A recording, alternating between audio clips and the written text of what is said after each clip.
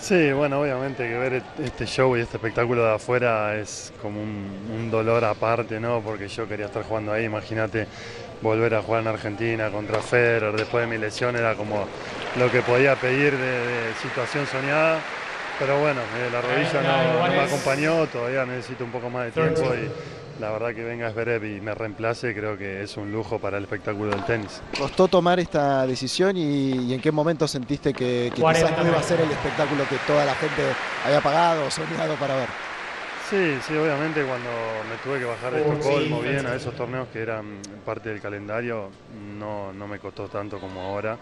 porque acá venía haciendo un esfuerzo increíble, venía preparándome y cuidándome sobre todo para este partido pero también cuando Roger no viene muy seguido a Argentina, cuando la gente hace un esfuerzo grande para, poder verlo, si yo no estaba en condiciones de jugar al 100% o Roger tenía que aflojar un poco por el estado de salud, creo que no era muy justo, así que cuando Pérez estaba atrás mío y, y viene el 6-7 del mundo, es un futuro número uno tranquilamente, creo que el espectáculo de tenis que la gente pagó para eso va a salir perfecto. ¿Me podés definir una frase? Roger Federer, desde tu lugar, porque vos lo conocés desde otro lugar, tenés un vínculo diferente inclusive al de otros tenistas.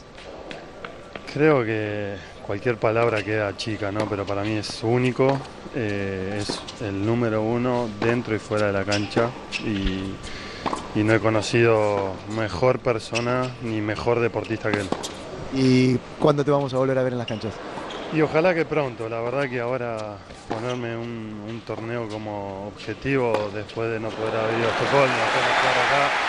capaz que esta vez opto por, bueno, a ver, eh, cuando la rodilla me tire el ok y salgo a jugar en el torneo que sea y, por tanto me sigo rehabilitando. ¿Descartarías Australia o la gira previa y te, aproximarías más a Delray Beach, un lugar eh, típico para los regresos?